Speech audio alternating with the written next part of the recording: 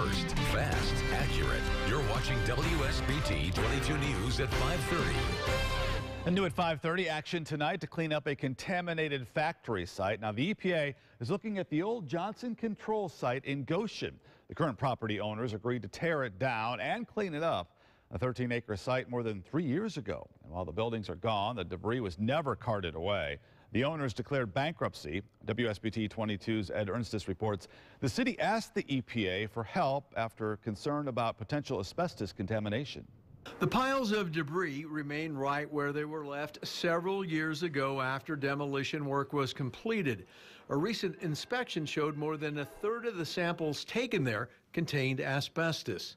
This site is owned by a private property owner and it's going through bankruptcy, so the city doesn't have any um, ability to go onto the site and clean it up ourselves.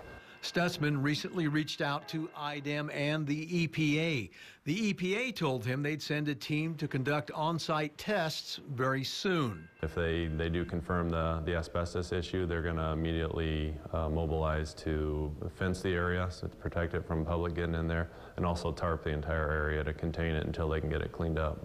The Environmental Protection Agency could be in Goshen as early as next week to help with ongoing efforts to clean up the 13-acre site that once held the old Johnson Controls Company.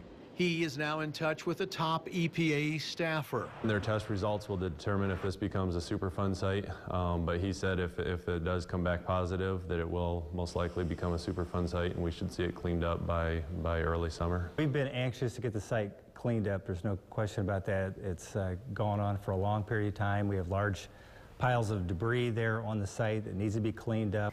Um, we've expressed concern. We've known that there was potential for environmental problems. The original Johnson Controls plant here used to manufacture electrical switches using TCE as a degreaser. It was sold to Tucon Holdings in 2007 for use as a fiberglass plant and stayed open till 2010.